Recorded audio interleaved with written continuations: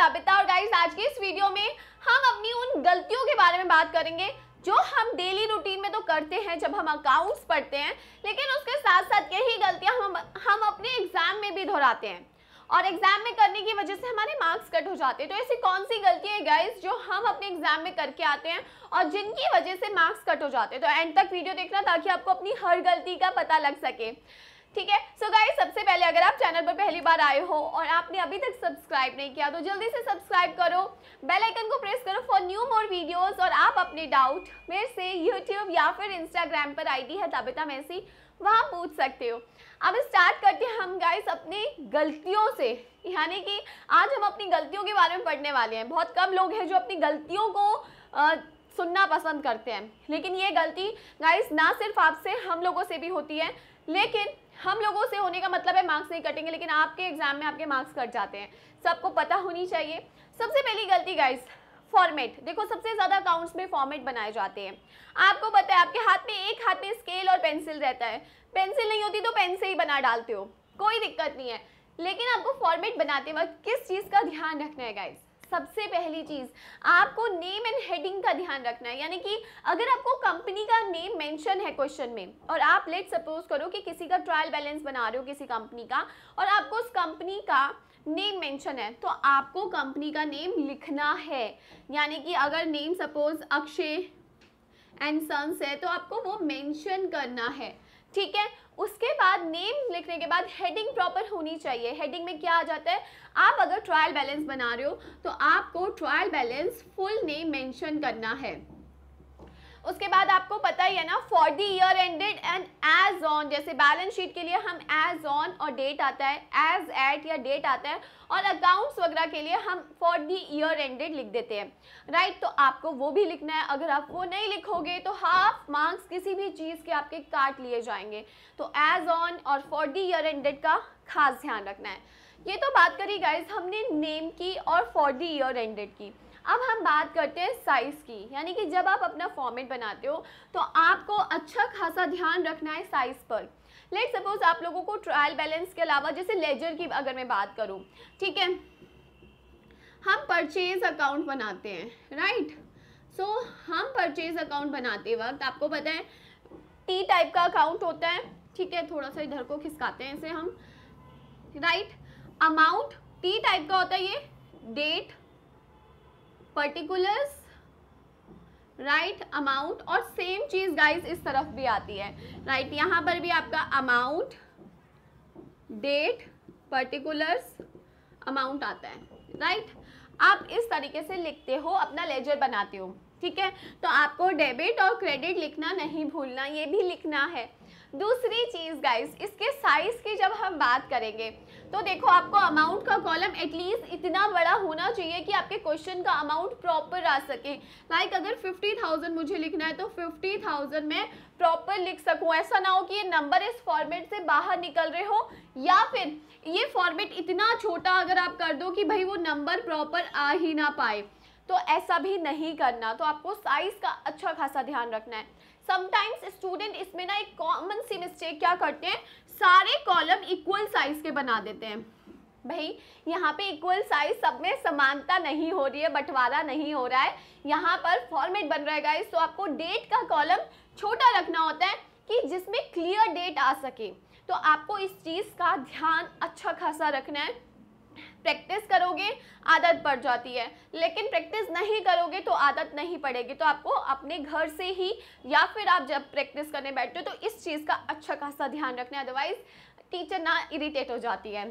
Second चीज़ guys general entry यानी कि हम नॉर्मली जर्नल एंट्री जब पास करते हैं तो हम नॉर्मल क्योंकि हम लोगों को इतनी प्रैक्टिस कराई जाती है, जैसे रेक्टिफिकेशन ऑफ़ एरर की जनरल एंट्री ट्वेल्थ की बात करूँ तो शेयर कैपिटल की जनरल एंट्री कि हम लोग फॉर्मेट बनाना जर्नल का भूल जाते हैं।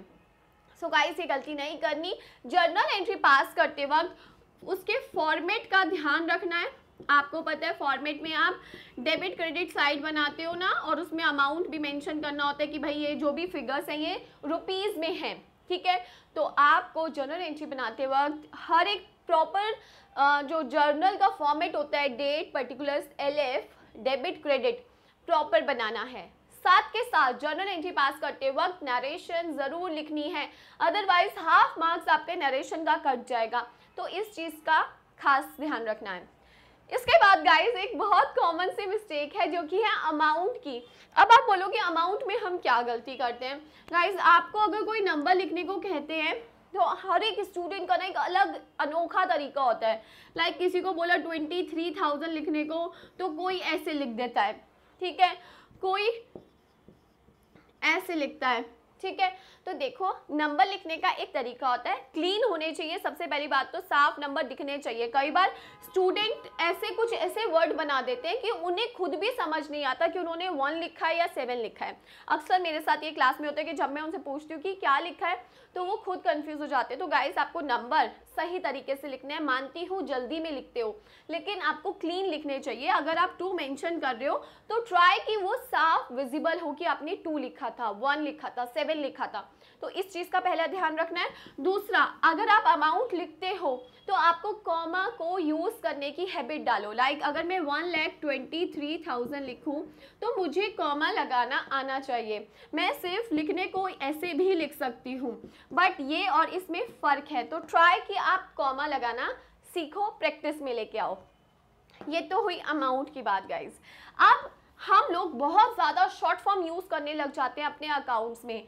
लाइक like, जो कुछ हद तक तो ठीक है वैलिड रहती है। जैसे आप अपने अमाउंट के साइन के लिए रुपीज़ का साइन लगा दिया, ठीक है। लेकिन जब आप जर्नल की लेजर की परचेज के लिए परचेज अकाउंट के लिए सिर्फ़ पी ओ आर लिख दिया, नहीं गाइस गलत हो जाएगा मार्क्स कट जाएँगे तो आपको बहुत ज़्यादा शॉर्ट फॉर्म नहीं यूज़ करनी। और जहाँ पर आपको प्रॉपर चीज़ बतानी है परचेज अकाउंट है तो आपको पूरा मेंशन करो। पर्टिकुलर्स है तो पूरा मेंशन करो कि पर्टिकुलर लिखा है हमने। जनरली हम जल्दी में ना पर्टिकुलर्स पे पी ए आर टी लिख के छोड़ देते हैं। तो ये गलती नहीं करनी शॉर्ट फॉर्म्स नहीं यूज़ करनी। और जहाँ तक मिनिमम हो सके आप करो, लेकिन नहीं यूज़ करो, यही कोशिश करो। इसके अलावा गाइज़ आपको किस तरीके से अपने अकाउंट्स के पेपर में कट करना होता है? क्योंकि गलती होना लाजमी है, लेकिन आपको किस तरीके से उस गलती को काटना है? अगर आपने कोई नंबर या अमाउंट गलत लिख दिया था तो प्लीज़ इसे घुचड़ मुचड़ नहीं करना घुचड़ मुचड़ नहीं करना। अगर आपने ट्वेंटी थ्री थाउज़ेंड गलत लिखा था तो आप नॉर्मली इसको कट कर सकते हो। आप उनसे क्यों छुपाना चाहते हो कि आपसे गलती हुई थी? हुई है, इसमें भी पता चल रहा है, गलती हुई है, इसमें भी पता चल रहा है गलती। लेकिन गुचड़ मुचड़ मतलब लाइक ऐसे ऐसे जो हम कर देते हैं, वो चीज़ नहीं करनी। इससे आपके पेपर की प्रेजेंटेशन खराब होती है। तो आप सिंपल अगर कोई वर्ड गलत लिख दिया, कोई नंबर गलत लिख दिया तो आप उसे ऐसे कट कर सकते हो। इतना एक तो चीज़ ध्यान रखनी है। इसके साथ साथ ये तो गाइज़ आपके कॉमन मिस्टेक्स है जो हम करते हैं और हमें नहीं करनी है। इसके साथ साथ आपको क्लीनलीनेस पे ज़रूर ध्यान देना है। नीट एंड क्लीन यानी कि आपका पेपर होना चाहिए। कटिंग जितनी कम हो सके उतनी करो। इसके अलावा बहुत हॉच पॉच मत करो अपने पेपर में। थोड़ा स्पेस लेके चलो ताकि टीचर को समझने में आसानी रहे। जब चीज़ें समझ नहीं आती टीचर को तो टीचर उस चीज़ के मार्क्स नहीं देती। तो टीचर समझ सके, इसलिए थोड़ा स्पेस लेके चलो। एक ही बार पेपर होते हैं, कोई पेपर में कंजूसी मत करो कि पेपर का ज़्यादा स्पेस लग रहा है। पेपर खुला डुला करो ताकि आपकी हर एक चीज़ विजिबल हो और उसके मार्क्स मिल सके।